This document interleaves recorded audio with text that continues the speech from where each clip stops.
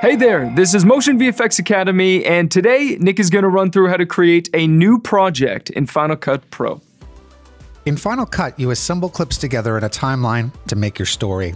In order to work within the timeline, we must first create a project. In this movie, we'll learn a few different ways projects can be created, how we can navigate between projects, as well as changing project settings. Like our assets, projects are stored within events that are contained within your library. Now, in order for us to create our first project, let's go to the File menu and choose New Project.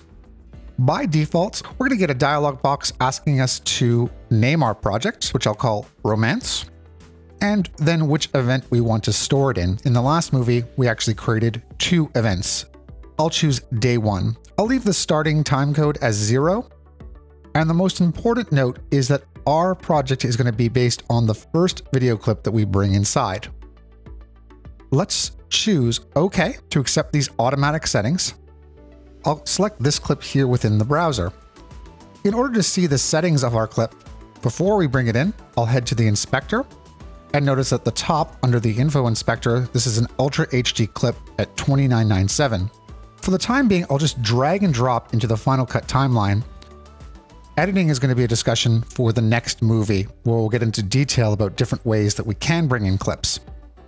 If I scroll up inside my library, here is my romance project. I'll select it and notice in the info inspector, it matches the settings of my Ultra HD 2997 clip. Now, sometimes we want projects to be a different frame size or frame rate from the clips we bring into the timeline. One example of this would be setting up an HD project for our Ultra HD clips so that we can scale them up without any quality loss to double their size. Now, in order to do this, I'll head back to the File menu where I'll create a new project. I'll call the project Scale Up and place it within the Day 1 event, but now choose to use some custom settings.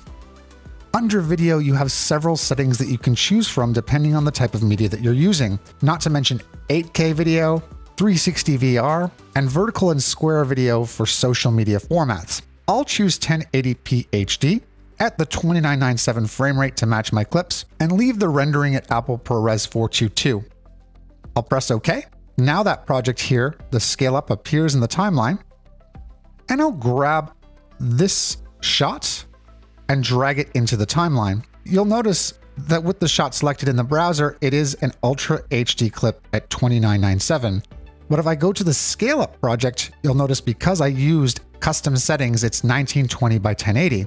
It doesn't appear that this shot is double the size of the actual project. If you select your clip and head to the video inspector, going to the very bottom, you'll notice that spatial conform is set to fit. So your clips are going to try to fit the raster of your project. And if you'd like to switch this to see the actual size, switch the default from fit to none. Inside the viewer, I'll select the transform settings. And at the top of the viewer, I am going to change the percent to 50%. And with this Final Cut overscan feature that's toggled on, we can see the entire size of our project. Now, just to mention that we are going to go over transform settings, as well as some more features within the viewer in detail in a later movie. But for now, I'll use this scaling advantage on the transform clip, moving it here to the side, and press done to take advantage of that 4K raster. And also in the viewer, fit my clip to the window. Now we can also change most of our project settings at a later time if required. If I select the scale up project within the browser and look at the info inspector that's already revealed to the right, you'll notice a modify button. Here I can actually change the video resolution, but not the frame rate, as well as take advantage of other rendering and audio features. I will leave this project as is and press cancel. Now lastly, we can move between the two projects that we've loaded inside our timeline.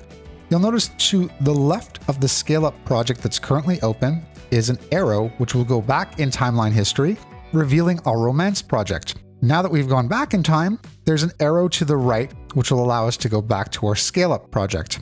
To the right of the project name is a downward arrow, which will allow us to either duplicate our project, reveal our project in the background, see our project properties, and even close all of the other timelines or the existing project that we have open.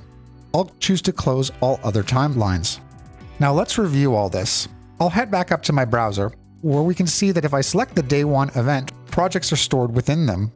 We can easily create new projects from the file menu, where we can use automatic settings, which will base our project on the first clip that we bring inside, or define our own project settings based on using custom settings.